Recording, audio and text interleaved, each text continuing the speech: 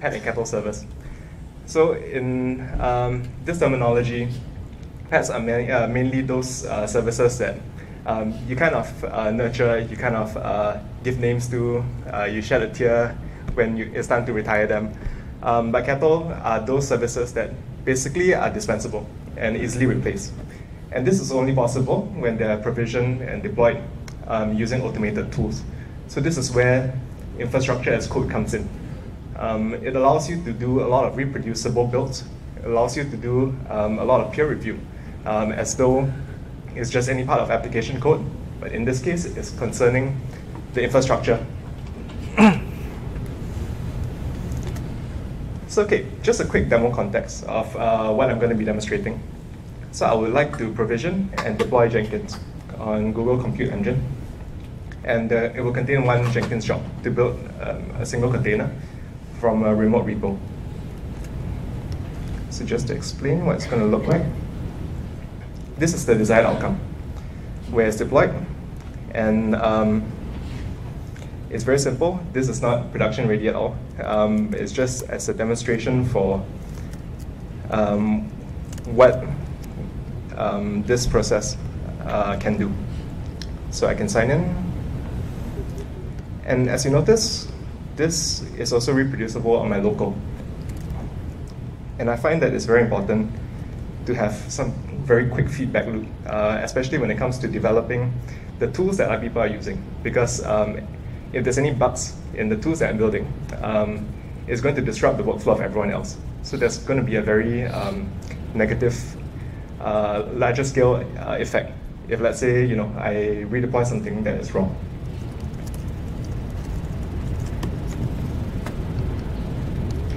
as you can see, this is the one which is deployed. If I run this job, as well as running this job, they should be able to build a single container. So Jenkins is just a just an example of a service that I wanted to demonstrate.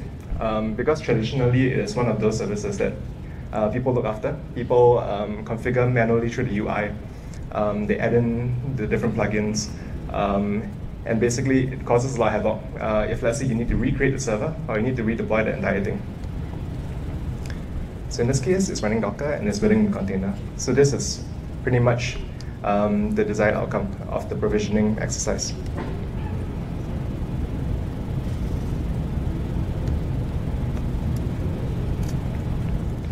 So actually the first thing um, that I would like to emphasize in this talk is that it's not so much about the tools that you use, it's more about understanding the problem, um, and after that, finding the right tools that uh, basically solve the problem in a way that uh, is specific to this use case. so um, the first thing I only do when it comes to uh, converting maybe a legacy service that uh, manually configuring or manually maintaining for many years I need to understand what the service requires. So firstly, is the service stateful? Um, if it is, can this state be stored remotely, maybe by linking up to the DB, or maybe uh, through some kind of snapshotting? Um, and the bigger question is that, is retaining the state even necessary? If let's say I redeploy a brand new, uh, a brand new Jenkins server, uh, do I need the historical um, accounts of all the jobs that I've run? So if, um, let's say we don't need to store this state, we don't need to retain this state, um, it just becomes a bit of an inconvenience, but it's not a deal breaker. so I can demonstrate that by basically tearing down everything.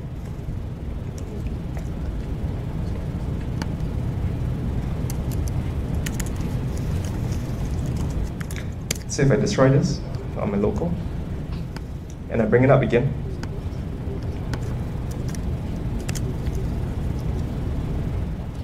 While this is loading, I can show what will happen when we recreate the server.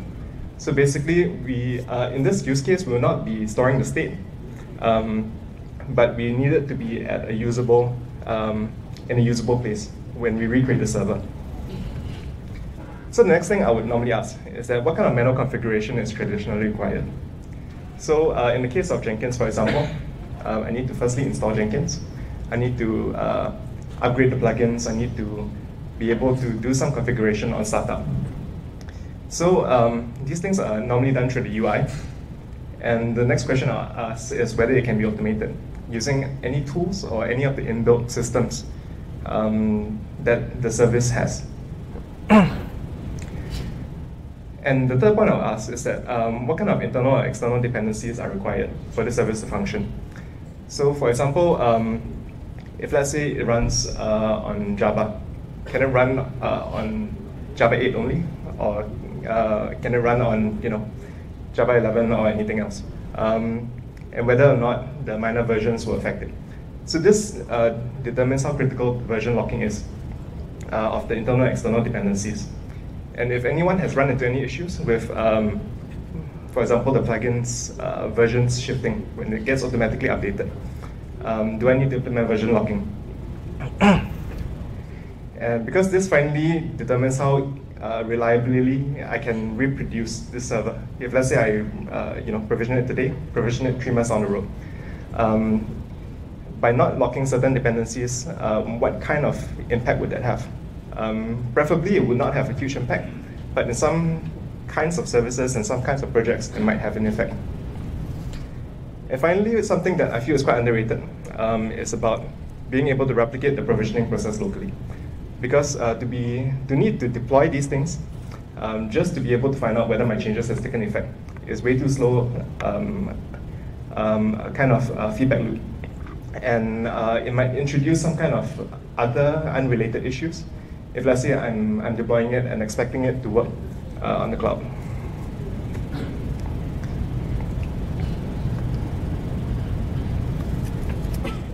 So okay. Some of the tools we're using in Wego right now for this provisioning step is uh, Packer together with Ansible. And locally, we are using Vagrant um, to reproduce the provisioning steps um, that we normally do on Compute Engine images. So let me just jump into some code.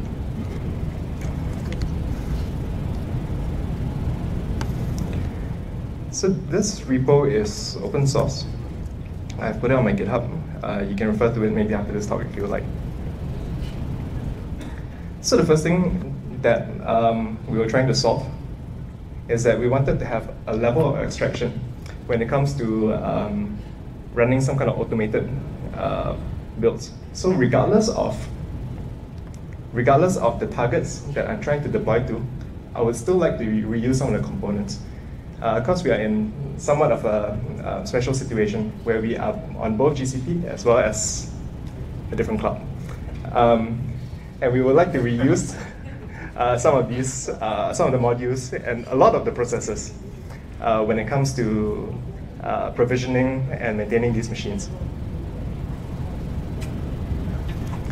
What was your motivation to pick up those tools, not mm. something else? Why not uh, Chef? Why not mm. Bolt? Why not yeah.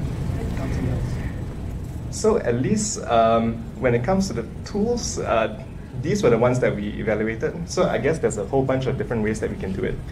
Um, and the good thing is that, for example, Packer, it's the secret weapon. Uh, I'm not sure how many of you guys have heard of Packer, but um, it's probably one of my favorite HashiCorp uh, tools mainly because it allows integration for Chef, uh, Ansible, and basically a whole bunch of other stuff. And the whole point of it is that we can use the same. Okay, so this is what I use to provision. It uses the same provisioners, which in this case is a file provisioner, I'm copying over something. It's running a shell script, and finally it's running Ansible. But as we can see, it can build two different types of images one Vagrant, and one Google Compute. So this is great because um, very rarely we can talk about cloud agnostic uh, tools. So in this case, this is basically cloud agnostic. It doesn't care where you're deploying to. You can deploy to AWS, you can deploy to uh, Google Cloud, you can deploy to Vagrant, or, or build images for those, for those platforms. And the only thing that you need to do is to configure the builders, which would determine where these images are being built and stored. so in this case, let me just run through um, what it's like. So the very first thing is doing, okay, let me just give an introduction on uh, what Ansible is as well. So Ansible is quite, um, it, it, covers quite a lot of ground with uh, maybe Salt, uh, Chef. Um, it's basically a way that you can automate um, the different steps when it comes to installing things, when it comes to configuring things, when it comes to um, templating things. And the reason why we chose Ansible is mainly because um, it's a bit more declarative uh, than the other languages. So when it, uh, or the other scripting frameworks. Um, we used to use Chef. It got slightly difficult to maintain. Uh, Ansible was a little bit more straightforward because it was less expressive. So uh, it's a bit counterintuitive, but we found that it made it a bit more simple, simple to understand and maintain um, because it had quite a strict uh, syntax. And also one of the things that we're able to leverage on by using something like this is that we can use um, other dependencies, which in this case comes from Ansible Galaxy. So if I want to install Jenkins, I just need to use an open source uh, Galaxy role. And the great thing is that you know uh, this is a fairly popular, fairly well-maintained role, um, and uh, it's quite battle tested, and there's enough tests being run on it. So we don't have to take on the responsibility of testing out uh, these scripts. So to see in action,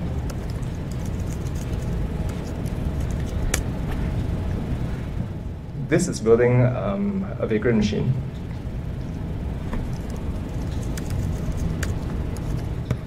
And this is using the same steps to build um, one for, for compute engine.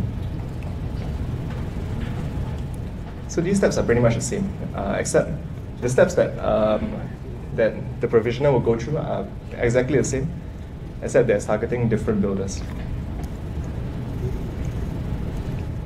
So this kind of ensures that um, you are able to test it quite reliably um, locally. So, okay. Within this, um, this shell script, the first thing it's doing is that installing Ansible because uh, the Ubuntu machines do not come with Ansible. And it's a very simple shell script. It's just running update, installing Python and installing a specific version of Ansible. And beyond that, Ansible takes over the rest. It also gives the opportunity to, um, so Ansible comes with some uh, inbuilt features, such as the vault, um, where you can kind of um, encrypt whatever variables you need. So in this case, I'm encrypting the username and password for this. And when I'm deploying, uh, I can copy over the, uh, the vault key to be able to um, encrypt it.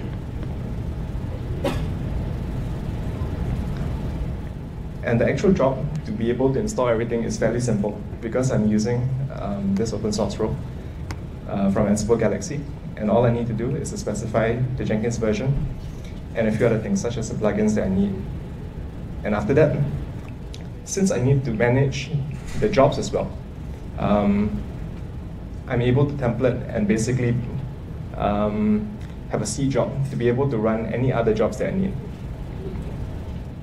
And within this, like 60 lines of code, um, this is all that's needed to uh, provision Jenkins, which is uh, notoriously fairly heavy and difficult to configure.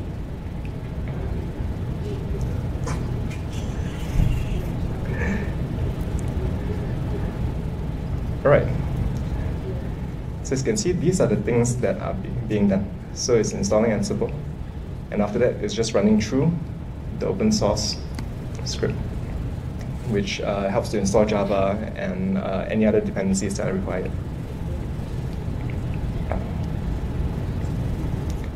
So actually the idea of this is mainly to, um, to highlight um, the importance of being able to reproduce the builds um, when it comes to VMs. So in the world of containers and everything, it's kind of taken for granted that you're able to package up, you're able to um, to have some at least some kind of reliability when it comes to reproducing the builds.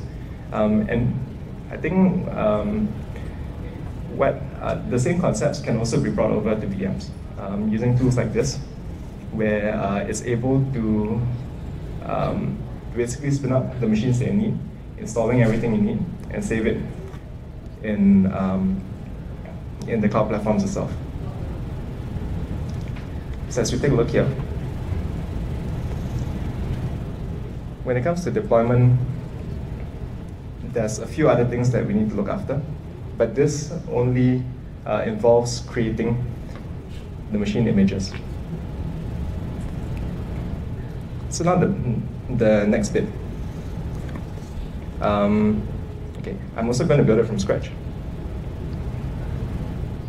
So let me just tear down everything that I have.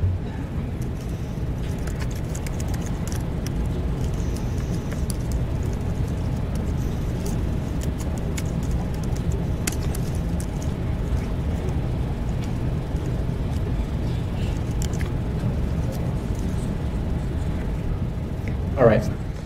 So when it comes to deploying uh, this machine, uh, it does not live in isolation. Um, there has to be some kind of uh, other things that we have to build around it. So there's a few requirements when it comes to deploying this. Uh, I would like it to be self-healing. If the instance goes down, um, I need it to come back up in a state that is usable pretty much immediately. Um, and I do not want to do any kind of UI-based configuration, either on the service itself or through um, maybe the cloud console. And when it comes to security, I would like to reduce the attack surface. So definitely no direct SSH access because there are hot scanners everywhere. Um, and the web UI is only to be exposed via the load balancer, and um, the rest of the ports are not. So just a quick infrastructure overview. Um, when it comes to how uh, we would like the rest of the infrastructure around Jenkins to, to react. So it will live within the VPC with a public and private subnet. So in the, pub, in the private subnet, um, there would be no IP address assigned to the instance itself. So you wouldn't be, um, you wouldn't have to worry about firewall rules when it comes to blocking out from the, from the internet. And the only way that um, we are able to access it is through the load balancer from the internet. And the way that uh, Jenkins will be able to access the internet is through a NAT gateway.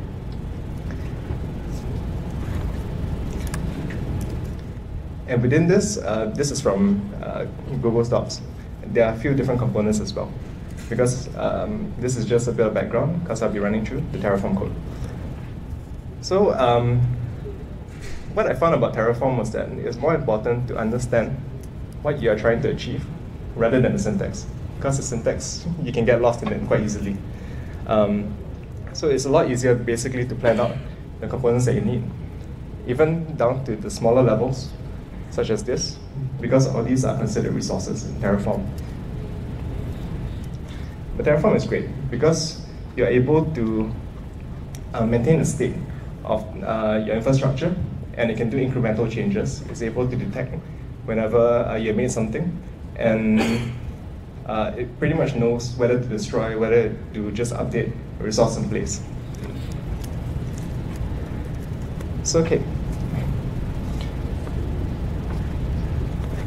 So I've destroyed this, and let me just destroy everything else.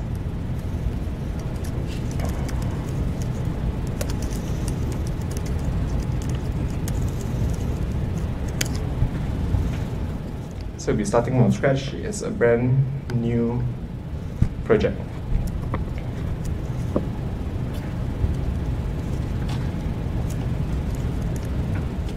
So uh, this is running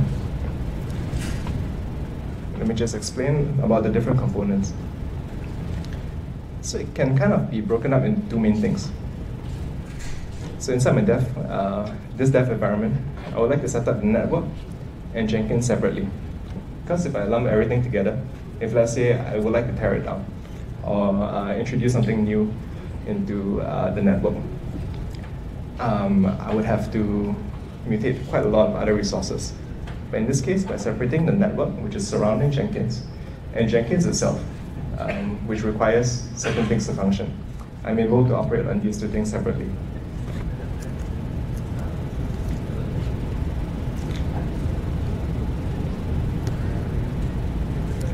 So,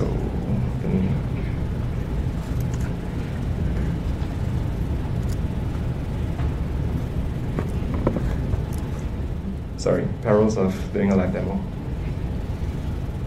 Okay, but basically, the different components that we need can be found here. So just now, um, when I mentioned about the different services that we need um, surrounding it, we have to create a VPC, which is a virtual private cloud, to kind of isolate the services. And within that, I will have the two different subnets, the public and private subnet.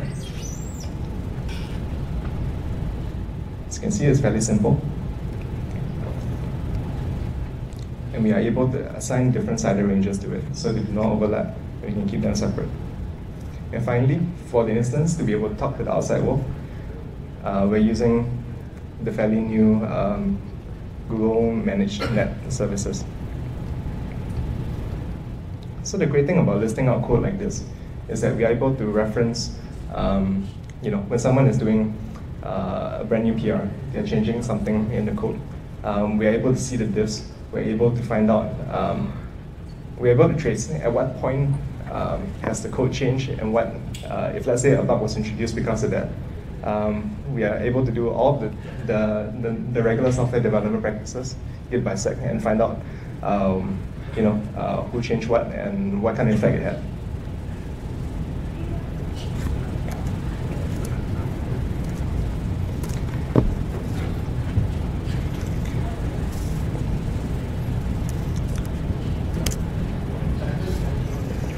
Okay, so without destroying the rest of the stuff, we can see that if let's say we want to create something brand new for Jenkins, all the different components that were inside um, what we had just now, which was the backend service in Jenkins itself. When it comes to uh, the, the, the, load balancer, uh, all the, the firewall rules as well to allow uh, the load balancer ingress, it can all be represented as code. And we're able to reuse these uh, functions and the different modules and even parameterize it such that if let's say we have a brand new environment, so this is the dev environment, if we have one for staging, all we have to do is just make a copy of it and change the vars. If let's say we need to change the instance type, it can be traceable here as well. And everything is managed through version control.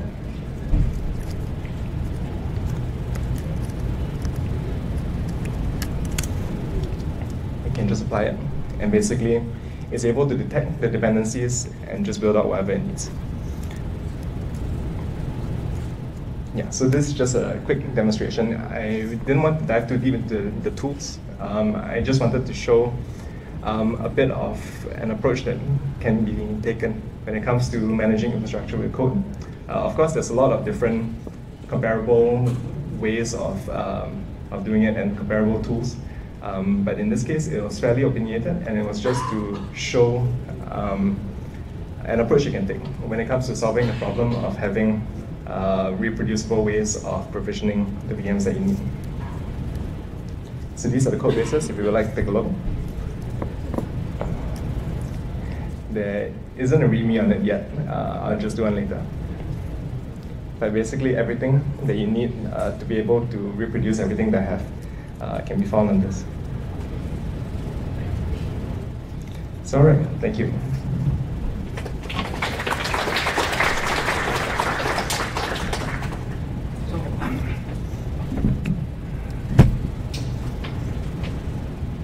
good example of that. Um, you have a preset uh, case, like you have an application, the application requires environment, and uh, in terms of the infrastructure as a code, imagine situations that, that uh, you're running a project like in one month you need to provision 200 virtual machines, second month you need to provision 20 virtual machines, everything else in a different configurations. So it's not a static case. What would be the, your approach to code this kind of thing? Do you define everything in a code in Terraform or do you have some kind of way to simplify your own stuff instead of every single time change the configuration settings such a way that for this I need X and so that what's the right way to reduce your, your workload? So at least for this example, um, it was for those that do not need to scale very dynamically. Um, what we actually run in production, uh, we use Spinnaker together with Packer uh, to be able to be able to um, basically define the auto scaling group in launch configs. So they are variable when it comes to uh, the minimum, maximum, and desired. Um, but basically what happens is that when the code um, is pushed from CI, um, it's able to build uh, an immutable image containing all the code, all the configuration uh, into um, like a machine image. And that gets put into the template of the auto scaling group. So um, at least uh, this slims down the, the, the requirements of needing to provision everything by hand. Um, so we only provision uh, the different services that we have. If let's say we have 12 microservices, it's just 12 different configurations for this. And a lot of them can actually share code. So um, there isn't uh, there isn't a huge need. If let's say yeah, 200 servers, um, but there are only 12 um, services, we only need to do the configuration for those 12 services. Any other questions?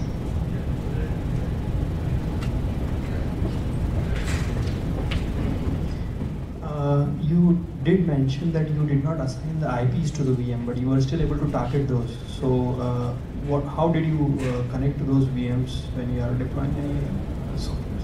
So for those VMs, um, at least for uh, okay, so something like this.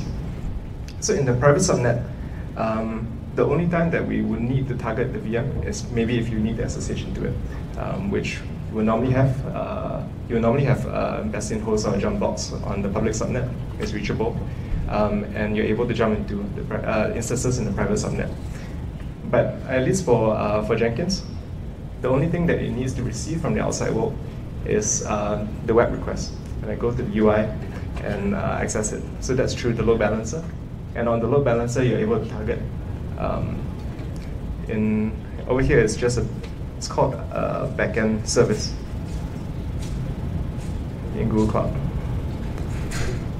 So there'll be instance template as well as uh, the instance group manager. So this instance group manager kind of ensures that uh, at least one one instance is running at all times, and you're able to target it. So um, it doesn't need the IP um, because we are not accessing the instance directly. It's managed through um, the mapping from uh, the load balancer. So I think, yeah, there's a few more uh, components in there, which is kind of from here, um, on how it's able to find it. So it's through, you know, the URI map and URL map, sorry, uh, to the backend service, and finally to the instance itself. So all these things are kind of managed by, uh, by Google.